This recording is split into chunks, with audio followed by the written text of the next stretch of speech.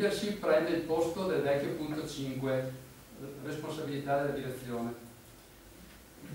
Responsabilità della direzione è la traduzione di management responsibility, ma management responsibility vuol dire una roba diversa da responsabilità della direzione, ovvero siccome la norma è una norma anglosassone, non ragiona per proprietà, mentre invece noi quando pensiamo a direzione pensiamo a proprietà.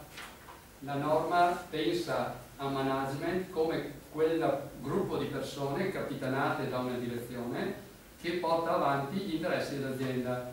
E quindi quando parlava di management responsibility era la responsabilità che aveva quella direzione con quel management di portare avanti gli scopi dell'azienda.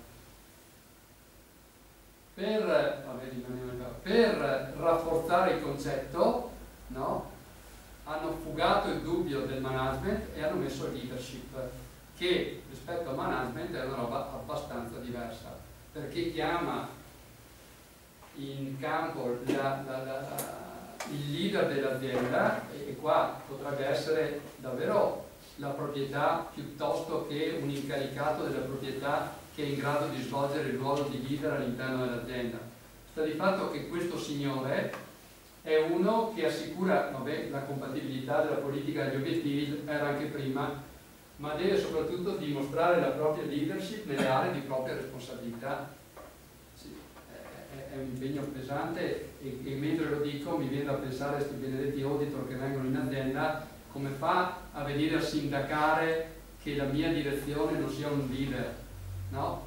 Eh, magari ha anche ragione nel suo che, ma da cosa lo capisci? No? Non è che c'è una norma che dice come deve essere fatto il leader.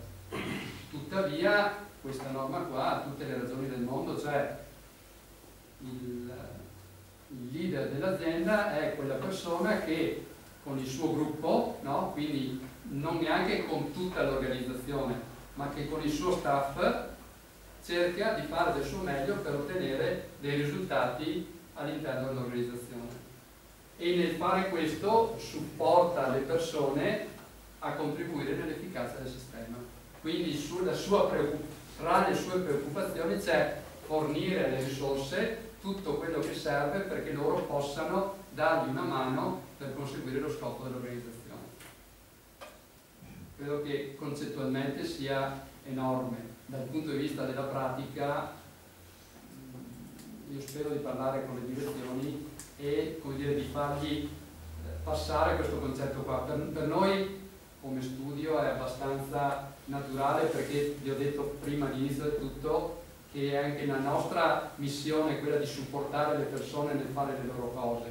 Quindi è, è dove noi possiamo andare a dare una mano, no? Però eh, noi abbiamo una per l'altra una settantina di aziende che seguiamo, non posso dire di avere tutti i leader uguali o tutte direzioni uguali o tutte persone uguali. Ci sono anche delle proprietà, delle direzioni, nominate direzioni in cima agli organigrammi, che di fatto delegano questo tipo di missione al loro responsabile più vicino, più caro. E, loro sono, e quella è la leadership. Ma allora a me non costa niente dal punto di vista organizzativo dire ascolta, tu sei la proprietà, quindi colui, eh, sei parte interessata, sei quello che vuole avere dei risultati all'azienda. Dagliela in mano al tuo leader e fagli capire bene quali sono le cose che tu vuoi e poi lascia che lui guidi l'azienda perché di lui hai fiducia. Questo è un po' il, il sunto di queste cose. Quindi non necessariamente come eravamo abituati in cima all'organigramma c'è la proprietà e lui è il management, il responsabile di direzione. Con questa norma qua noi possiamo scegliere il vero, il vero leader dell'azienda e dargli il mandato per trascinare l'azienda, per portare l'azienda laddove vogliamo che, che ottenga i suoi risultati. Più facile a dirsi che a farsi, ma il concetto è tutto là e è importante nel suo, nel suo insieme.